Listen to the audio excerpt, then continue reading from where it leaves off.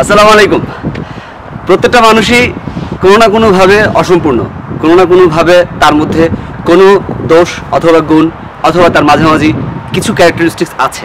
যেগুলো আসলে ওইভাবে বর্ণনা করা সম্ভব না। কোনো মানুষই কোনোভাবে সম্পূর্ণ না। হজরত মোহাম্মদ সাল্লাহ সাল্লামকেও সাধারণ মানুষের মতোই পৃথিবীতে পাঠানো হয়েছিল। তারপর দুইবার হজরত জিবরাইল আসলামকে পাঠানো হয়েছিল তার হৃদয়কে পরিশুদ্ধ করার জন্য। সর্বকালের সর্বশ্রেষ্ঠ মানুষ তাকেও পরিশুদ্ধ করার জন্য পাঠানো হয়েছিল দুই দুইবার করে হজরত জিবরাইল আলাইসাল্লামকে সো আমরা তো সেক্ষেত্রে কিছুই না। কেন এই কথাগুলো বললাম? কারণ আমি বিগত দিনগুলোতে কিছু ভিডিও দেইনি এবং আমি শুধু আপনাদের কমেন্টস পড়েছি এবং কোশ্চেন অ্যান্সার নিয়ে কাজ করেছি, পড়ালেখা করেছি। আমি বিশ্বাস করি যে প্রত্যেকটা মানুষই যারা নিজেদেরকে গ্রো করতে চায় বা যারা মনে করে যে কোনো না কোনোভাবে সে এক সময় এক সময় তার নিজের অবস্থাকে পরিবর্তন করবে, তাদেরকে অবশ্যই সবসময় পড়াশোনার মধ্যে থাকতে হয়, অর্থাৎ লেখাপড়ার মধ্যে থাকতে হয়। সো আমি সবসময় চেষ্টা করি কোনো না কোনো বই পড়ার জন্য বা কোনো ইনফরমেশন নেওয়ার জন্য। যে ইনফরমেশনের মাধ্যমে হয়তো আমি আমার নিজের অথবা চারপাশের মানুষের কোনো না কোনো উন্নতির জন্য কাজ করে যেতে পারব। সেই ধরনের ইনফরমেশন নেওয়ার জন্য আমি সবসময় আপনাদের জন্য কাজ করে যাচ্ছি। আমি বিশ্বাস করি যে এর এই ভলেন্টারি ওয়ার্কের মাধ্যমে আমি একসময় বাংলাদেশের জন্য বা বাংলাদেশের একটা নির্দিষ্ট শ্রেণির স্টুডেন্টদের জন্য যারা দেশের ভালো করতে চায় বা যাদের মেধা আছে দেশের ভালো কিছু করার জন্য, তারা দেশের বাইরে এসে তাদের নিজেদেরকে আরও বেশি বিকশিত করার মাধ্যমে বাংলাদেশ অথবা বাংলাদেশের জাতির একটা নির্দিষ্ট পরিমাণ উন্নতি একটা সময় গিয়ে হবে। সো সেই জন্য আমি কাজ করে যাচ্ছি। বাট তার মধ্যেও অনেক ক্রিটিসিজম আছে, অনেক ভুল আছে, অসম্পূর্ণতা আছে। আমি বিশ্বাস করি, মনের দিক থেকে বিশ্বাস করি, যারা আমাকে ক্রিটিক করছেন, তাদেরকে আমি স্বাগতম জানাচ্ছি এবং আমাকে ভুল বুঝে কোনো ভুল বোঝার দরকার নেই, কারণ আপনাদেরকে নিয়ে, অর্থাৎ ক্রিটিকদেরকে নিয়ে একটা আলাদা পর্ব থাকবে, যেখানে আমি বলব ক্রিটিসিজম কীভাবে করতে হয় এবং তার অ্যান্সার কীভাবে দিতে হয়, সেটা নিয়ে। আজকে আর কথা না বাড়াই। শুরু করছি Nordic terms channel Alan is from hamster Sweden. আজকে প্রশ্নোত্তর পর্ব পাঁচে আপনাদের কিছু কোশ্চেনের অ্যান্সার করব, সেটা নিয়ে। তো আমি প্রথমেই দেখে নিচ্ছি কী কী কোশ্চেন আপনাদের ছিল। প্রথমে কোশ্চেন ছিল সিঙ্গেল মাদার্স বা parents education and visa in Sweden আপনারা যারা সিঙ্গেল মাদার্স আছেন, তারা কীভাবে ভিসা পেতে পারেন বা আপনারা কীভাবে সুইডেনে অথবা নর্ডিক কান্ট্রিজগুলোতে যদি এডুকেশনের জন্য আসেন, তাহলে আসতে পারবেন কিনা? আসলে এই ইউরোপের কান্ট্রিগুলো বিশেষ করে নর্ডিক কান্ট্রিগুলো সবসময় হচ্ছে আপনার open education and sex country so এখানে কোনো রকমের জেন্ডার ডিসক্রিমিনেশন করা হয় না। আপনি যদি সিঙ্গেল মাদার হন দে ডোন্ট কেয়ার তারা কেয়ার করে, আপনি এখানে কি করতে আসছেন? এখানে লেখাপড়া করতে যদি এসে থাকেন তাহলে অবশ্যই আপনি ভিসা পাবেন। এবং যদি আপনার যোগ্যতা থাকে, অর্থাৎ আপনি যদি রিকোয়ারমেন্টগুলো মিট করেন অ্যাডমিশনের জন্য এডুকেশন করার জন্য মাস্টার্স প্রোগ্রাম অথবা পিএইচডি করার জন্য ডক্টরেট পোস্ট ডক্টরাল করার জন্য, তাহলে অবশ্যই আপনি কোনো না কোনোভাবে এখানে অ্যাডমিশন পেয়ে যাবেন। ডাজেন্ট ম্যাটার যে আপনি সিঙ্গেল মাদার বা আপনি সিঙ্গেল ফাদার আপনি ডিভোর্সড আপনার ওয়াইফ নেই অথবা আপনার হাজব্যান্ড নেই, এগুলো ম্যাটার করে না। সো আমি আপনাদেরকে এই জায়গায় একটা কথা একটা কথা স্পষ্ট করে বলে দিতে চাই যে ভিসা পাওয়া এবং এখানে অ্যাডমিশন পাওয়ার জন্য সিঙ্গেল মাদার্সদের মাদার্সদের অথবা সিঙ্গেল প্যারেন্টসদের কোনো রকমের লিমিটেশনস নেই। আপনারা যদি ঠিকমতো ভিসার অ্যাপ্লিকেশন করতে পারেন এবং সব কিছু সব ডকুমেন্টসগুলো যদি ঠিকমতো পাঠাতে পারেন, এইটা সিঙ্গেল মাদার্স কোনোভাবেই আপনার ক্রাইটেরিয়া বা রিকোয়ারমেন্টকে লিমিটেশনসে নিয়ে যাবে না। So don't worry about that আচ্ছা গেল এক কথা। দুই নম্বর কথা হচ্ছে সিঙ্গেল যারা প্যারেন্টস আসবে, তারা বাচ্চা নিয়ে যখন এখানে আসবে, তখন তারা লেখাপড়ার পাশাপাশি তাদের বাচ্চাকে কোথায় রাখবে? তারা কি তাদের প্যারেন্টসকে আনতে পারবে? প্যারেন্টসদেরকে আনার ব্যাপারে আমি বলে রাখি, যারা আপনারা অলরেডি সিটিজেন হয়ে গেছেন সুইডেন অথবা নর্ডিক্স কান্ট্রিগুলোতে তাদের জন্য নতুন একটা আইন পাশ হতে যাচ্ছে সামনে, যেখানে আপনারা আপনাদের প্যারেন্টসদেরকে অর্থাৎ আপনাদের বাবা মাকে এখানে আনতে পারবেন। বিভিন্ন কন্ডিশনে সেই কন্ডিশনসগুলো এখনও বিভিন্ন পার্টি এগুলো নিয়ে কথাবার্তা বলছে এবং তারা দেখছে যে এই জিনিসগুলো কীভাবে করা যায়। সো হয়তো বা ভবিষ্যতে আমাদের প্যারেন্টসদেরকেও আমরা এখানে আনতে পারব। কিন্তু অবশ্যই সেটা পার্মানেন্ট রেসিডেন্স এবং যারা এবং যারা সুইডেনে সিটিজেন হিসেবে আছেন, তাদের ক্ষেত্রে বলছি। যারা নর্ডিক কান্ট্রিগুলোতে সিটিজেন হিসেবে আছেন, এখানে ডেনমার্কের কথা বলে রাখে ডেনমার্কে প্যারেন্টসদেরকে আনা এবং তাদেরকে ভিজিট ভিসায় আনা সহজ। কিন্তু যদি আপনি তাদেরকে মানে ভিজিট ভিসা ছাড়া যদি পারমানেন্ট রেসিডেন্সি দিয়ে আনতে চান, এটা খুব কঠিন। নরওয়ে সুইডেন এবং ফিনল্যান্ড এবং আইসল্যান্ড এই কয়েকটা কান্ট্রিতে নর্ডিক কান্ট্রিজগুলোতে এই ব্যাপারে অনেকটা শিথিলতা আছে। ধরেন, আপনার বাবা মারা গেলেন আপনি আপনার মাকে নিয়ে আসবেন বা আপনার বাবা আগে আগে আগে থেকেই ছিল না আপনি আপনার মাকে নিয়ে আসবেন। অথবা আপনার মা রিসেন্টলি মারা গেছেন বা আমার আমার আমার রিসেন্টলি মে মাসে, গত, এই বছরের মে মাসে আমার বাবা মারা গেছে। আমার আমার মাকে দেখার মতো আমার দেশে কেউ নেই। সো আমি চিন্তা করছি যে আমার মাকে কীভাবে দেশে আনা যায়। এই ক্ষেত্রে যদি তাকে দেখাশোনা করার জন্য কেউ না থাকে তাহলে সেই ক্ষেত্রে আপনি আপনার মাকে স্পেশাল পারমিশনে হয়তো বা এখানে আনতে পারবেন। কিন্তু সেটা সব কিছুই স্পেশাল সো এটার জন্য আপনাকে সিটিজেন হতে হবে অথবা পার্মানেন্ট রেসিডেন্সি থাকলে নির্দিষ্ট কিছু কন্ডিশনে হয়তো আপনি আনতে পারবেন। কিন্তু যদি আপনি সিঙ্গেল প্যারেন্টস হিসেবে আসেন, আপনি আপনার বাবা মাকে আনতে পারবেন না। আনতে পারবেন ভিজিট ভিসে আনতে পারবেন। অর্থাৎ নব্বই দিনের পারমিটে আনতে পারবেন, তারপরে আপনার বাবা মাকে আবার চলে যেতে হবে। সেম রুলস হবে আপনার রিলেটিভসের ক্ষেত্রে, অর্থাৎ আপনার ফার্স্ট ব্লাড যারা আপনার ব্রাদার্স আপনার সিস্টার্স তারা যদি আসতে চায়, তাহলে তাদের ক্ষেত্রে আপনি নব্বই দিনের জন্য ভিসা পাবেন। কিন্তু তারা যদি স্টুডেন্ট ভিসায় আসতে চায়, তাহলে তারা হয়তো বা নর্মাল যে প্রক্রিয়া আপনি এসছেন, সেই প্রক্রিয়ায় আপনার এখানে আসতে পারবে। এবং পরবর্তীতে আপনি যখন পারমানেন্ট সিরিয়াস হয়ে যাবেন অথবা সিটিজেন হয়ে যাবেন, তখন হয়তো বা আপনার ফার্স্ট প্লেয়ার যারা আছে, তারাও আপনার সাথে অ্যাপ্লিকেশন করতে পারবে। এটা রেয়ার কেস বাট এই ধরনের কিছু রুলস আছে, যদি রিলেটিভ আসতে চায়, সেই ক্ষেত্রে আমি নিচে লিঙ্ক দিয়ে দিচ্ছি, আপনারা দেখে নিতে পারেন। গেল এক কথা। এবার আসি দ্বিতীয় দ্বিতীয় কোশ্চেনে একজন কোশ্চেন করেছেন যে how long does it take person number person to get the personal number আপনি সুইডেনে আসলে সাথে সাথে আপনার যে জিনিস দরকার হবে, সেটা হচ্ছে পার্সোনাল নাম্বার পার্সোনাল নাম্বার কী জিনিস? আগেও বলা হয়েছে, আমি এখন আবার বলছি। পার্সোনাল নাম্বার হচ্ছে যে, আপনি যখন সুইডেনে আসবেন, সেখানে আসার পর ট্যাক্স এজেন্সিতে গিয়ে আপনাকে সাথে সাথে পপুলেশন রেজিস্ট্রিতে আপনার নাম রেজিস্ট্রি করাতে হবে এবং এই রেজিস্ট্রি করানোর সময় আপনাকে একটা নাম্বার দেওয়া হবে। এই নাম্বারটাই হচ্ছে পার্সোনাল নাম্বার পার্সোনাল নাম্বার এখানে খুবই গুরুত্বপূর্ণ। আপনি যদি এক বছর বা তার চেয়ে অধিক সময়ের জন্য সুইডেনে বসবাস করার জন্য আসেন ভিসা নিয়ে আসেন, তাহলে আপনি এই পার্সোনাল নাম্বারের জন্য অ্যাপ্লিকেশন করতে পারবেন। এছাড়া যদি এক বছরের কম সময়ের জন্য আসেন, তাহলে আপনি এই পার্সোনাল নাম্বার পাবেন না। সো এই পার্সোনাল নাম্বার পাওয়ার জন্য আপনাকে যেটা করতে হবে, সেটা হচ্ছে আপনি যখনই ট্যাক্স অফিসে যাবেন, আপনি গিয়ে অ্যাপ্লিকেশন করবেন এবং আপনার যত ডকুমেন্টস আছে, আপনার অ্যাডমিশন ডকুমেন্টস আছে, আপনার আপনি যে বাসায় অবস্থান করবেন, সেই বাসার কন্ট্রাক্ট পেপার থাকবে। আপনি যদি ম্যারিড হন, তাহলে আপনার ম্যারিড সার্টিফিকেট থাকবে, আপনার বাচ্চা থাকলে তার বার্থ সার্টিফিকেট থাকবে, আপনার নিজের ভোটার আইডি কার্ড এবং পাসপোর্ট থাকবে। এই যে ডকুমেন্টসগুলো সবগুলো সেখানে জমা দিতে হবে এবং তারা সেগুলো ভ্যারিফাই করবে। করে সবগুলো ডাটা এন্ট্রি একটা সিস্টেমের মধ্যে করবে। সেই সিস্টেমের মধ্যে আপনার একটা নাম্বার ক্রিয়েট হবে। সেই নাম্বারটাই হচ্ছে পার্সোনাল পার্সোনাল নাম্বার সো এই পার্সোনাল নাম্বারটা আপনার পেতে মিনিমাম সময় লাগে হচ্ছে তিন থেকে চার সপ্তাহ পার্সোনাল নাম্বার পেতে। এটা কোথায় আসবে? আপনার, আপনি যেই বাসায় অবস্থান করবেন, সেই বাসাতেই এই পার্সোনাল নাম্বারটা আসবে। সো সেটার জন্য আপনার সেটার জন্য আপনার খুব একটা টেনশন করার কিছু নাই। আপনি অ্যাপ্লিকেশন করে আসলে তিন থেকে চার সপ্তাহের মধ্যে পার্সোনাল নাম্বারটা চলে আসবে। পার্সোনাল নাম্বার যখন চলে আসবে, তারপরে আপনাকে আবার ট্যাক্স অফিসে যেতে হবে। গিয়ে আপনাকে বলতে হবে যে আপনি পার্সোনাল নাম্বার পেয়েছেন এবং এখন আপনি personal ID card Swedish ID কার্ডের জন্য অ্যাপ্লাই করতে চান। তখন আপনাকে চারশো টাকা ব্যাংকে চারশো সুইডিশ ক্রাউন অর্থাৎ বাংলাদেশি টাকা, প্রায় চার হাজার টাকার মতো আপনাকে ব্যাংকে জমা দিতে হবে। জমা দিয়ে দেন আপনাকে ফিঙ্গারপ্রিন্টস এবং ফটোগ্রাফির জন্য সেখানে গিয়ে অ্যাপয়েন্টমেন্ট নিয়ে গিয়ে তারপরে এগুলো দেওয়ার পর আরও চার সপ্তাহ পরে আপনার নিজের পোস্ট নাম্বারে আপনার যে পোস্ট নাম্বার আছে, আপনার যে বাসার ঠিকানা আছে, সেই ঠিকানায় অটোমেটিক্যালি আপনার সুইডিশ আইডি কার্ড চলে আসবে। এটার জন্য মিনিমাম আট থেকে নয় সপ্তাহ, অর্থাৎ প্রায় এক মাস থেকে দেড় মাসের মতো একটা সময় লেগে থাকে।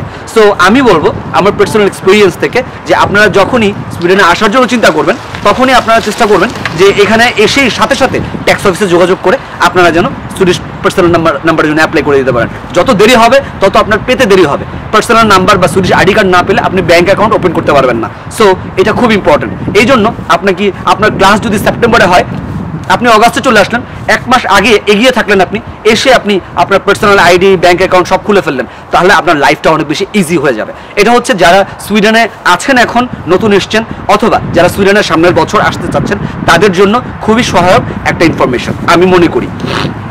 চলে আসি থার্ড কোশ্চেনে একজন কোশ্চেন করেছেন হোয়াট ইজ অটম এবং স্প্রিং সেমিস্টার অ্যাডমিশনের জন্য সুইডেনে আসলে সুইডেনে অ্যাডমিশনের জন্য দুটা সেমিস্টার আছে।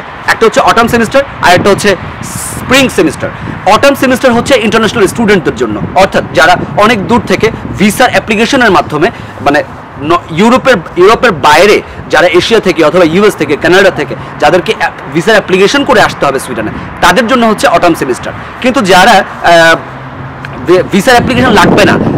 অ্যাপ্লিকেশন করবে ইউনিভার্সিটিতে ডাইরেক্ট অ্যাডমিশন হবে। তারা ডাইরেক্ট অটাম সেমিস্টারের জন্য আপনার সময় থাকে প্রায় সাত থেকে আট মাসের মতো। সো আপনি এখানে অ্যাপ্লিকেশন করে অ্যাডমিশন হয়ে যাওয়ার পর ভিসার অ্যাপ্লিকেশন করে তিন চার মাস সময় নিয়ে তারপরে আপনি আসতে পারবেন। কিন্তু স্প্রিং সেমিস্টারের জন্য সময় থাকে খুব কম।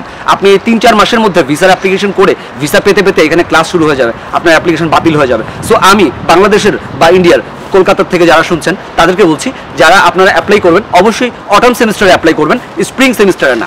অটাম সেমিস্টার শুরু হয় হচ্ছে ষোলোই অক্টোবর থেকে পনেরোই জানুয়ারি পর্যন্ত অ্যাপ্লিকেশন টাইম থাকে এবং এই প্রক্রিয়া চলতে থাকে নেক্সট অগাস্ট পর্যন্ত। অর্থাৎ আপনি অগাস্টে অথবা সেপ্টেম্বরে এসে পরের বছরের অগস্ট অথবা সেপ্টেম্বরে এসে আপনি ক্লাস শুরু করবেন। সো এটার জন্য আপনি হিউজ সময় পাচ্ছেন। আপনার ভিসাতে বা অন্য কোনো কিছুতে প্রসেসে কোনো প্রবলেম হওয়ার কথা না। সো আপনারা সবাই নিশ্চয়ই ক্লিয়ার হয়েছেন অটম সেমিস্টার এবং স্প্রিং সেমিস্টার সম্পর্কে। স্প্রিং সেমিস্টার কাদের জন্য যারা ইউরোপিয়ান ইউনিয়নের ভেতরে থাকে, অর্থাৎ যারা ইউরোপিয়ান ইউনিয়নের যেসব কান্ট্রিগুলো আছে, সেগুলো থেকে সুইডেনে লেখাপড়া করতে আসে বা নর্ডিক কান্ট্রিগুলোতে লেখাপড়া করতে যায়। তাদেরকে ভিসার জন্য কোনো অ্যাপ্লিকেশন করতে হয় না ডাইরেক্ট অ্যাডমিশন হয়ে যায়, তারপর তারা জাস্ট ফ্লাই করে এসে এখানে ক্লাস করে। সো তাদের জন্য এটা তেমন ডিফিকাল্ট না, এই কম সময়ের মধ্যেও তাদেরকে তারা গুছায় নিয়ে আসতে পারে। সো আমি আপনাদেরকে বলব যে আপনারা সবাই অটম সেমিস্টারের জন্য অ্যাপ্লাই করবেন এবং সেভাবেই প্রসিডিউর মেনে আপনারা অ্যাপ্লিকেশন এবং ভিসা করে তারপর এখানে আসবেন। আশা করি উত্তরটি পেয়েছেন। আমি আপনাদের একজন কোশ্চেন করেছেন যে education in law in Sweden education in law সম্পর্কে বলার জন্য আসলে আপনারা সবাই বিভিন্ন ধরনের সাবজেক্ট নিয়ে আমাকে কোশ্চেন করছেন বাট ল এর এই কোশ্চেনটা আমার কাছে খুব ইন্টারেস্টিং লেগেছে যে এখানে যারা ল পড়তে আসে, তারা কি করে বা তারা কীভাবে আসে এখানে? আমি এটা নিয়ে অনেক লেখাপড়া করলাম এবং দেখলাম যে কোন কোন ইউনিভার্সিটিতে এই সাবজেক্টটা আছে। আমি খুব আশ্চর্য হলাম যে লতে এশিয়া থেকে চাইনিজ অনেক মানুষ চাইনিজ এবং জাপানিজ এরা অনেকেই লতে এখানে পড়ালেখা করতে আসে এবং পড়ালেখা শেষ করে তারা আবার চায়না অথবা জাপানে অথবা আরও যেসব কান্ট্রি আছে এশিয়াতে সেগুলোতে ব্যাক করে। আমি স্টাডি করলাম স্টাডি করে আমি দেখলাম যে ইন্ডিয়া অথবা বাংলাদেশ থেকে অথবা আমাদের আরও শ্রীলঙ্কা অথবা পাকিস্তান থেকে কেউ এসছে কিনা লতে। হ্যাঁ লতে লেখাপড়া করার জন্য এখানে আরও অনেকেই এসছে। কিন্তু তারা কিছু কারণে তারা এখানে চাকরি বাকরি না পেয়ে একটা নির্দিষ্ট সময় পরে এখান থেকে চলে গিয়েছে অন্য কোনো কান্ট্রিতে ইউরোপেই তারা বসবাস করছে, কিন্তু অন্য কোনো কান্ট্রিতে বসবাস করছে। আমি ডিটেল এটা নিয়ে কথা বলছি এখন। লতে যারা পড়েছেন, অর্থাৎ এলএলবিতে এখানে মাস্টার্স অফ ল করার জন্য আসতে চাচ্ছেন। এখানে ল এর জন্য বিভিন্ন ধরনের সাবজেক্ট আছে। যেমন আপনি উমিয়া ইউনিভার্সিটিতে উপসালা ইউনিভার্সিটিতে এবং লুন ইউনিভার্সিটিতে এই তিনটা ইউনিভার্সিটিতে ল বিষয়ক অনেক সাবজেক্ট পাবেন। এনভায়রনমেন্টাল ল পাবেন, আপনি পাবলিক ল পাবেন, আপনি আর্বিট্রারি পাবেন, আপনি সোশিয়োলজি অফ ল পাবেন, আপনি নর্ডিক কান্ট্রিজ ল পাবেন, আপনি what it call sustainability sustainability law in sustainability তারপর আপনি পাবেন ক্রিমিনোলজি পাবেন, আপনি ভিক্টিমোলজি পাবেন। এই লয়ের অনেকগুলো সাবজেক্ট আমি দেখলাম, খুব ভালো ভালো সাবজেক্ট রেটিংও খুব ভালো। এই সাবজেক্টগুলোতে লেখাপড়া করার পর আপনাকে যেটা করতে হবে সেটা হচ্ছে আপনাকে এর মধ্যে সুইডেনের সিটিজেন হয়ে যেতে হবে। আপনি লেখাপড়া করার পর আপনি যখন সুইডেনের সিটিজেন হয়ে যাবেন, তখন আপনি ভালো ভালো পোস্টে এখানে অ্যাপ্লাই করতে পারবেন। আপনি যদি ভিক্টিমোলজি অথবা ক্রিমিনোলজিতে আপনি লেখাপড়া করেন, তাহলে এখানে পুলিশ স্টেশনে পুলিশ স্টেশনে আপনার জব হবে। অর্থাৎ আপনি ক্রিমিনালদেরকে নিয়ে কাজ করবেন, তাদেরকে নিয়ে স্ট্র্যাটেজি সেট করবেন, আপনি তাদেরকে নিয়ে রিসার্চ করবেন, এই ধরনের কাজগুলি আপনি করবেন। আবার যারা পাবলিক ল নিয়ে লেখাপড়া করবে, তাদের এখানে যেসব ল অফিস আছে, সেগুলোতে আপনি সরকারি অফিসগুলোতে আপনি জব পেতে পারেন। আপনি ট্যাক্স অফিসে জব পেতে পারেন। এমনকি মাইগ্রেশন এজেন্সিতেও পাকিস্তান এবং সিরিয়া থেকে এবং বিভিন্ন ইরাক, ইরান থেকে বিভিন্ন লোক এই সাবজেক্টে লেখাপড়া করে এনভায়রনমেন্টাল ল সোশিওলজি ল এগুলোতে লেখাপড়া করে বর্তমানে মাইগ্রেশন ওয়ার্কের এবং আরও বিভিন্ন সুন্দর সুন্দর, ভালো ভালো ইন্টারন্যাশনাল কোম্পানিতে কর্মরত আছেন। সো এই সাবজেক্টগুলো অনেক ভালো। আমি আপনাদেরকে কেন বললাম, যারা এলএলবিতে আছেন, তারা যদি কেউ মাস্টার্স করতে চান, তাদেরকে অবশ্যই এখানে এসে সিটিজেন হতে হবে। অর্থাৎ চার পাঁচ বছর ওয়েস্ট করতে হবে। সিটিজেন হয়ে যাওয়ার পর আপনি জবগুলোর জন্য অ্যাপ্লাই করতে পারবেন। কারণ এখানে একটা ফার্স্ট ক্রাইটেরিয়া হচ্ছে অবশ্যই আপনাকে সিটিজেন হতে হবে।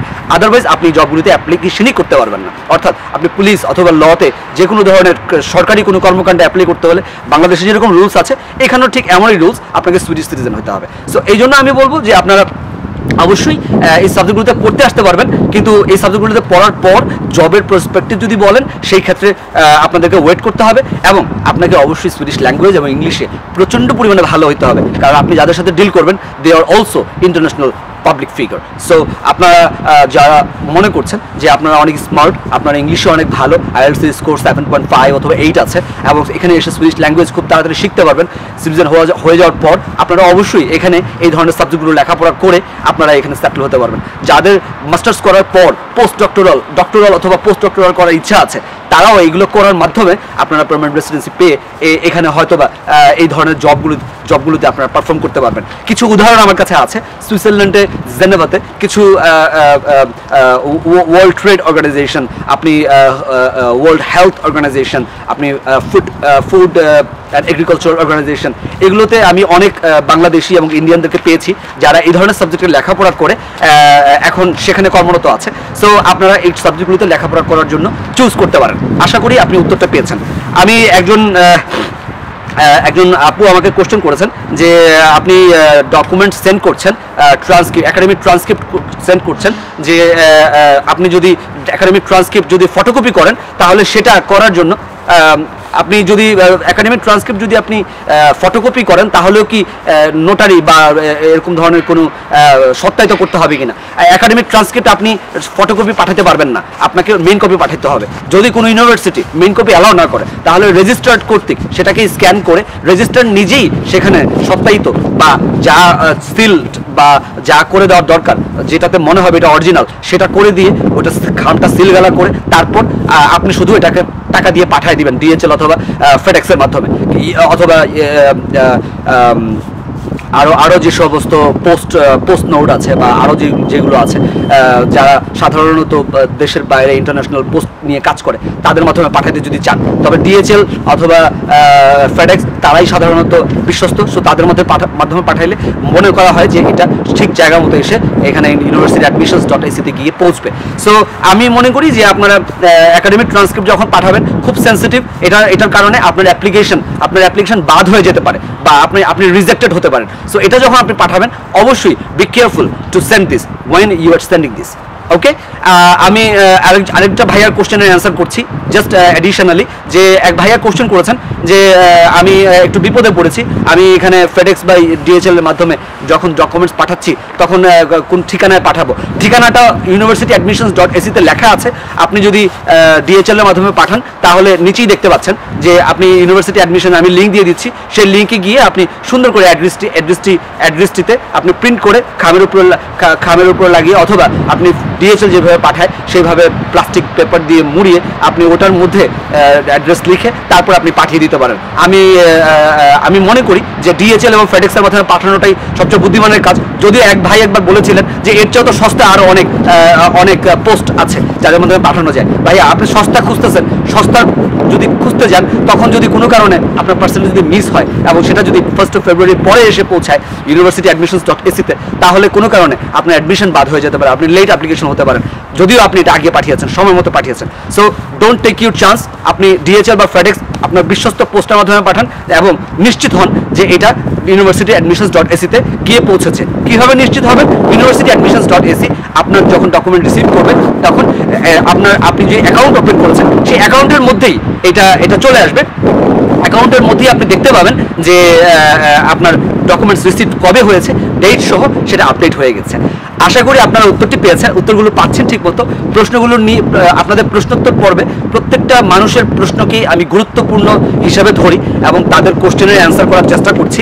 আমি আরও বিশ্বাস করছি যে আমাকে যারা ক্রিটিক করছেন বা ক্রিটিসিজম করছেন, সে সে- সমস্ত ক্রিটিকদের দেরকে আমি সাধুবাদ জানাই। তাদের জন্য হয়তো বা আমি আমার নিজেকে আরও বেশি ইমপ্রুভ করতে পারব।